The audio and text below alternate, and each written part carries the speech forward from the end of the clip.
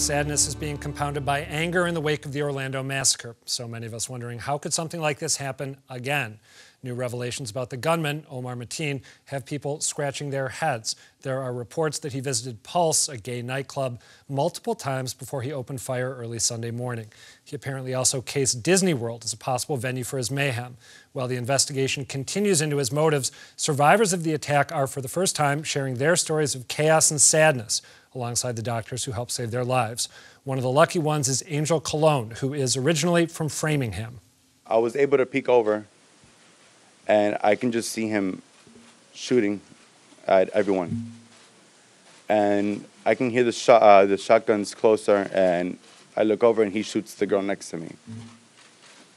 And I'm just there laying down. I'm thinking, I'm next. I'm dead. Part of the huge pressure this tragedy put on the healthcare system was the demand for blood. This is what ensued. Thousands of people lined up and waited hours to donate blood, something concrete they felt they could do to help. But this outpouring of support put a spotlight on a new donation policy, one that turned away many would be donors who happened to be gay. In May, the FDA released new recommendations that would allow gay men to donate blood, something they haven't been able to do since the AIDS crisis back in the 80s. But they could only donate if they'd been celibate for a year. Critics charge these restrictions have no scientific bearing and are discriminatory. Joining me now to discuss this new policy is Glenn Cohen, director of the Petrie Flom Center for Health Law Policy, Biotechnology, and Bioethics at Harvard Law School. Glenn, thanks for being here. Thank you for having me. So, give me a quick recap of the history of the restrictions on gay men donating blood, because as we mentioned a moment ago, the policy was just liberalized. How has it evolved over the years? Absolutely. So, starting in the early 1980s, in the wake of the HIV crisis, essentially the policy was a lifetime ban or deferral, to use a technical term, for any man who had ever had sex with another man even once since the 70s. Before that, was there also a ban that involved a, a, high number of partners, or am I wrong about that? So, in terms of the bans, there's a series of different bans. There's one regarding MSM. There's always been one for people who've had sex with uh, prostitutes and people who engage in prostitution. MSM is men who have sex with That's right. And that's an important distinction in that although the ban is often described as a gay blood ban, in fact, it affects everybody who's ever had sex even once under the old policy. Noted.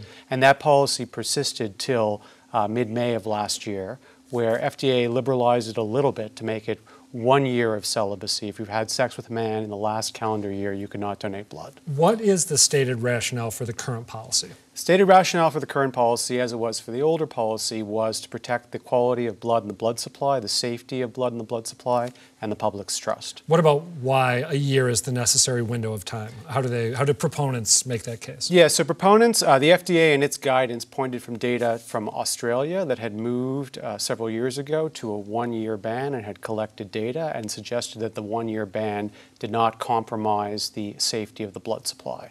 Although many people, including me, think one year is still far too conservative, and indeed countries like South Africa have a much smaller ban of six months. All right, so why is one year too conservative? For a number of reasons. The first reason is the risks we're talking about are extremely low, and the reason is every single pint of blood donated in America is repeatedly tested and quarantined for a period of time. You say repeatedly, there are multiple tests. There are multiple tests that are that are going on, not only for HIV but for hepatitis, among other things. And essentially, the estimated risk by the FDA of something slipping through, and this is whether it's from straight people or gay people, is about one in two million. Hmm. And indeed, the existing nucleic acid test that we have now can detect in a very short period, seven to day, 10 days after infection, and blood is routinely held for a period of time to make sure to do that test. I want to make sure that I get this, this detail right here because this is something I was wondering about. Uh, if there weren't a one year ban, I had wondered if it was possible that you'd have, hypothetically, a gay man donating so soon after he potentially had contracted HIV that the tests afterward would not be able to pick that up. Is that a concern? So, this is why all the tests are delayed, and the kind of test that we do now in the blood is held for a period of time in order to detect this. And indeed, in countries like Italy in particular, they have gotten rid of any period of deferral. They've moved to what's called test and assess. So, they test the blood, they have a behavioral questionnaire, they group you into a risk group, and then they decide what to do on an individualized basis. Instead of relying on a stereotype mm-hmm. and saying, all gay men are the same and we have to worry about their blood, they do individualized assessments. So, how, what would your ideal test policy, or uh, pardon me, donation policy look like? My ideal policy would look quite a lot like Italy's, which is again to have individualized assessment. And the way I describe it is if you look just statistically at the map of the United States, there are areas that have extremely high concentrations of HIV infection. We went zip code by zip code and said, by virtue of living in this zip code, you, whether you're straight or gay, have to be celibate for an entire year. You would look at me like I was crazy. You would say that's a terrible policy. Why don't you make it more individualized? And that's what we've been urging in the Journal of American Medical Association, among other places, urging the FDA to do. And indeed, 80 Congress people, including Senator Warren and Senator Bernie Sanders, signed on to a letter urging HHS to change the policy. It seems like both this 12 month policy that's in place right now and the more liberalized policy that you're talking about, they both rely on people honestly reporting their sexual history. Is that something that anyone, whether they're gay or straight, young or old, really can be counted on to do?